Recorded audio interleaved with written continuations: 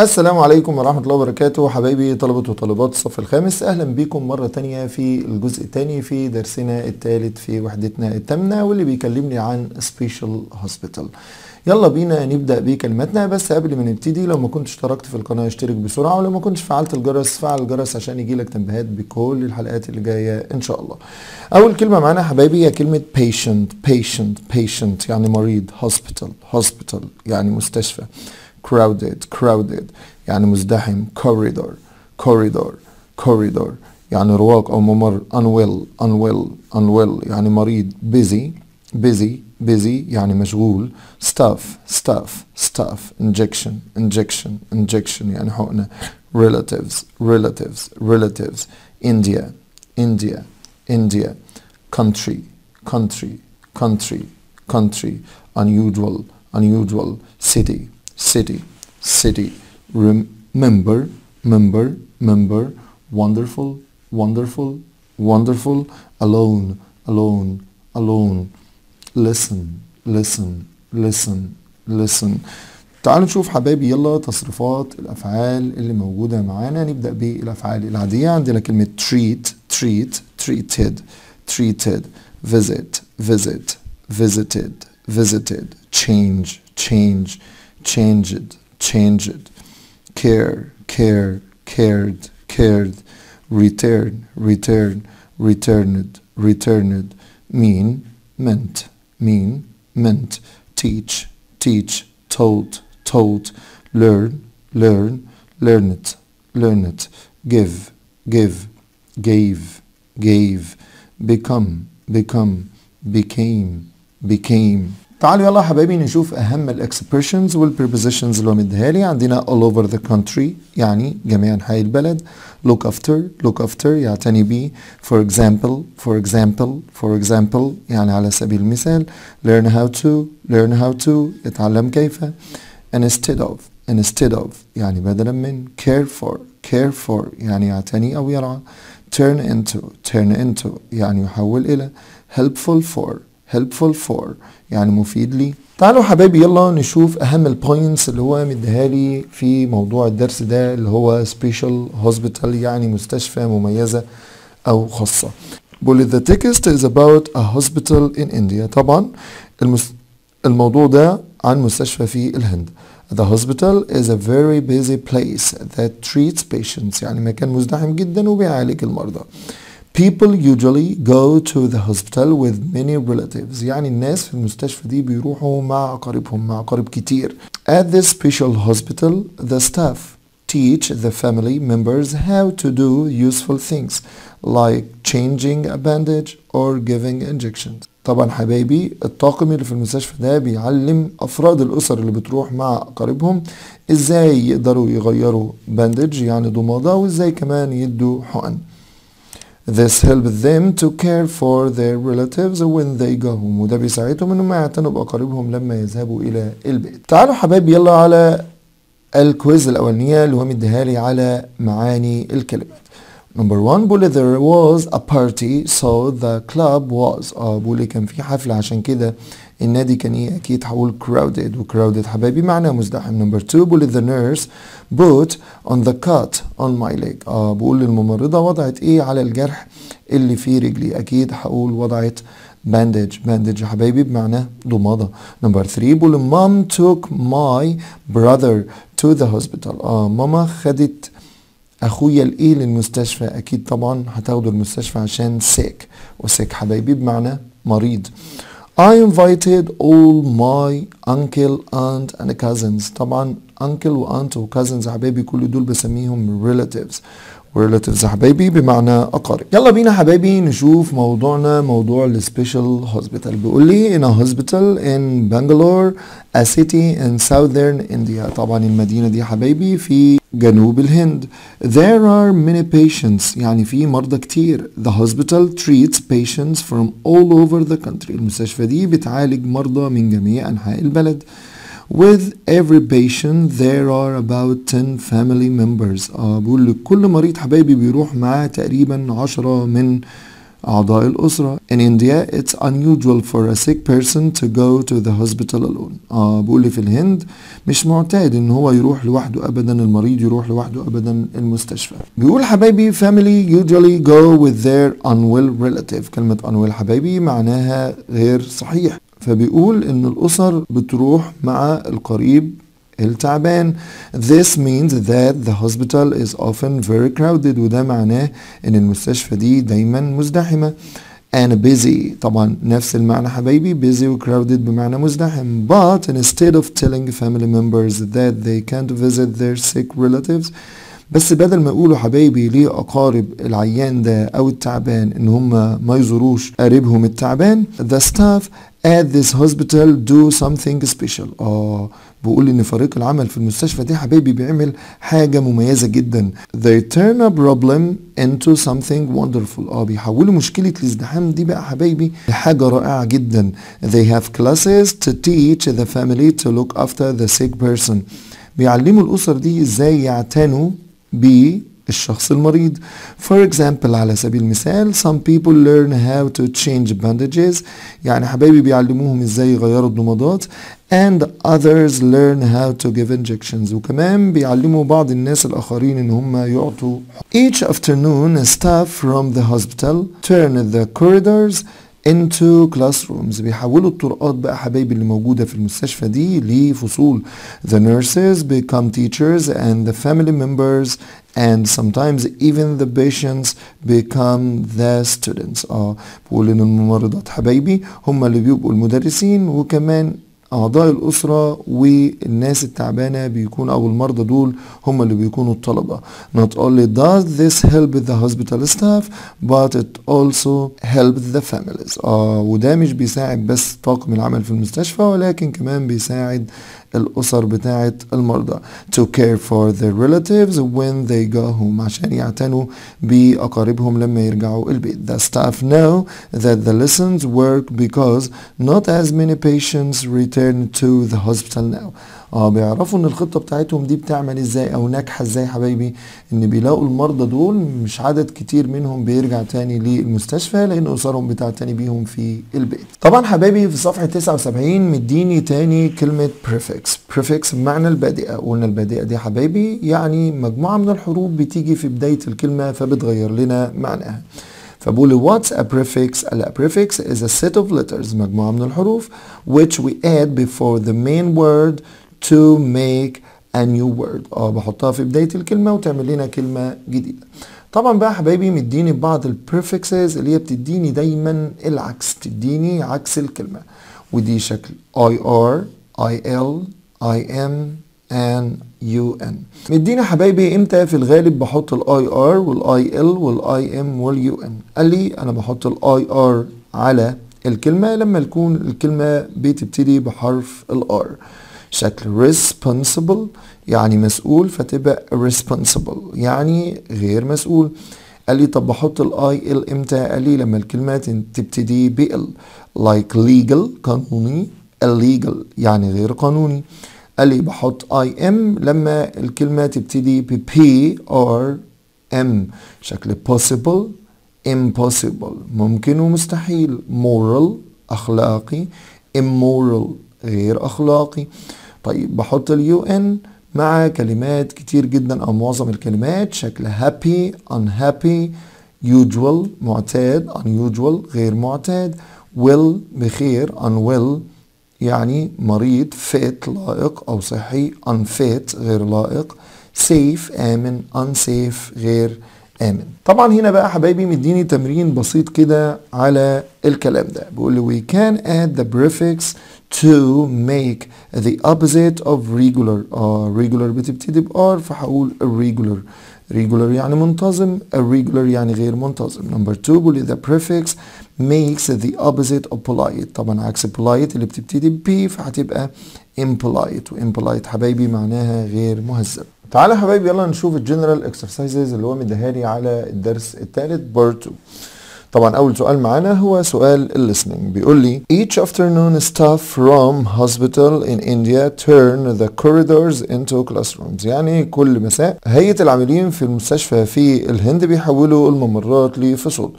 The nurses become teachers and the family members become the students بيقول لي طبعا الممرضين والممرضات بيصبحوا هم المعلمين أما الأسر وأعضاء الأسر بيصبحوا هم الطلاب This idea helps the families to care for their relatives طبعا الفكرة دي بتساعد الأسر إنها تعتني بأقاربهم when they go home لما بيرجعوا البيت they can change a bandage or give an injection at home تعالوا مع بعض يلا نشوف نمبر 1 بيقول لي the staff from a hospital turn the corridors into classrooms. طبعا الكلام ده true. number 2 بيقول لي the students become teachers in hospital. طبعا بقول الطلبة بيصبحوا معلمين. هتقول لي طبعا false. ليه يا حبايبي؟ لأن الممرضين هم اللي بيصبحوا معلمين. number 3 بيقول لي family members become uh, the students. طبعا بقول لي أعضاء الأسرة هم اللي أصبحوا طلاب طبعا الكلام ده true. number 4 بيقول لي family can't change a bandage at home. ما يقدروش يغيروا الضمادة في البيت. طبعا الكلام ده false لأنهم بعد ما يعلموهم بيقدروا إن هم يغيروا أي ضمادة. تعالوا مع بعض يلا نشوف السؤال الثاني وهو سؤال التوصيل بيقول لي there are many. وطبعا حبايبي طالما قال لي many يبقى أكيد الاسم اللي وراها اسم جمع فأكيد هقول there are many patients at the hospital. يعني يوجد مرضى كتير في المستشفى. number 2 بيقول لي he went to يعني هو ذهب إلى وطالما قال لي went to يبقى أكيد هيجيب لي وراها مكان. يبقى هقول he went to the hospital alone. يعني هو راح المستشفى لوحده. number 3 بيقول لي I learned how to. آه بيقول لي أنا اتعلمت كيف. طبعا how to هنا هيجي وراها فعل في المصدر فبالتالي هقول how to change bandages. إزاي أغير ضمادات نمبر 4 بيقول لي the park is. آه بيقول لي الحديقة مالها حبايبي. أكيد the park is often very crowded يعني دايما حبايبي مزدحمة نمبر 5 بيقول لي the staff look uh, the staff اللي هم هيئة العاملين أكيد look after patients يعني بيعتنوا بالمرضى تاني look after patients بيعتنوا بالمرضى تعالوا حبايبي يلا نشوف سؤال القطاع بتاعنا بيقول لي in a hospital in Bangalore a city in southern India there are many patients the hospital treats patients from all over the country With every patient, there are about 10 family members. In India, it's unusual for a sick person to go to the hospital alone. Family usually go with their unwell relative. This means that the hospital is often very crowded. وإن crowded حبايبي بمعنى مزدحم and busy. But instead of telling family members that they can't visit their sick relatives, the staff at this hospital are very wonderful. They have classes to teach the family to look after the sick person.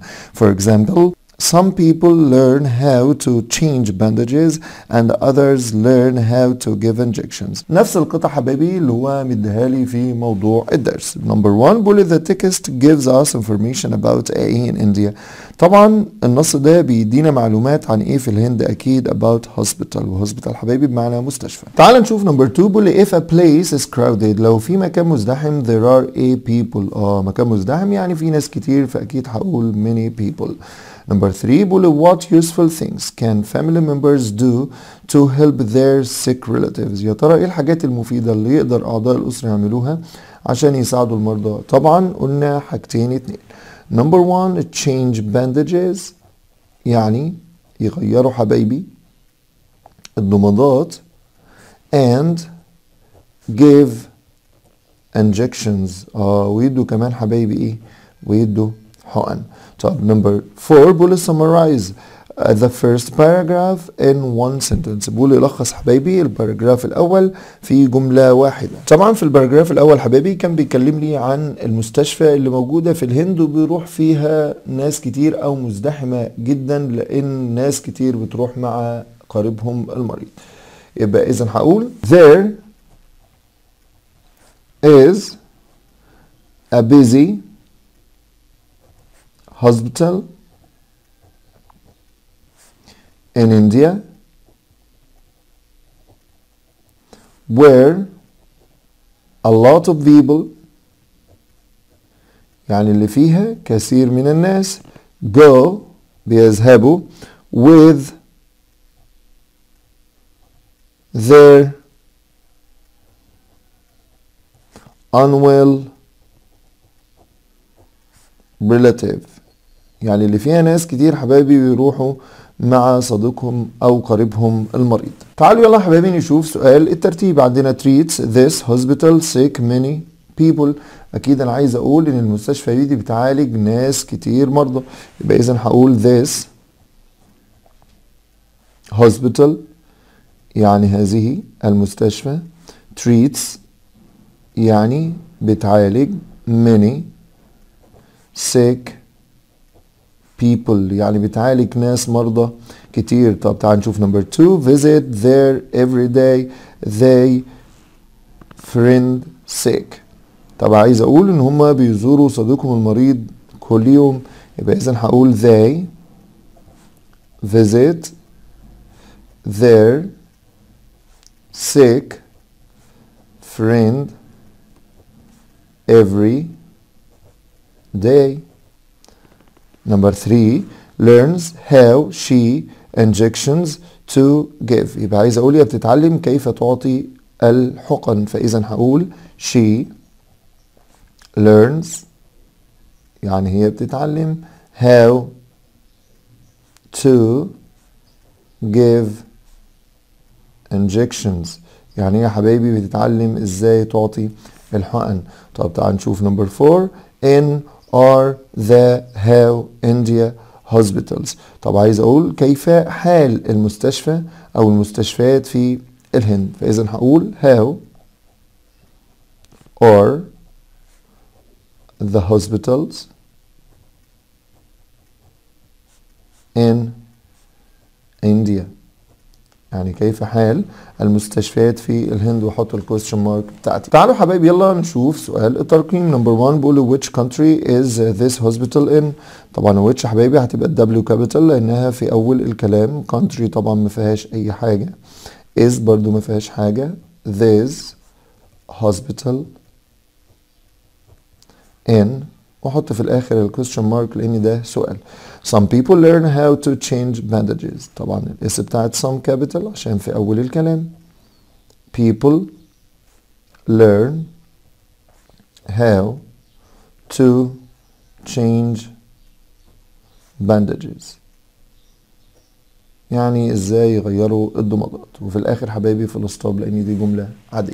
تعالوا يلا حبايبي نشوف سؤال الباراجراف بتاعنا واللي بيكلم لي عن hospital. a special hospital يعني مستشفى مميزة. وطبعا أكيد هنتكلم عن المستشفى المميزة أو الخاصة اللي موجودة في الهند. ومديني بعض الكلمات اللي استعانى بيها شكل كلمة treat يعني يعالج وعندنا كلمة crowded يعني مزدحم. طبعا حبايبي أكيد هقول يوجد مستشفى هبدأ بيوجد مستشفى مميزة في الهند. يبقى اذا هقول كده there is a special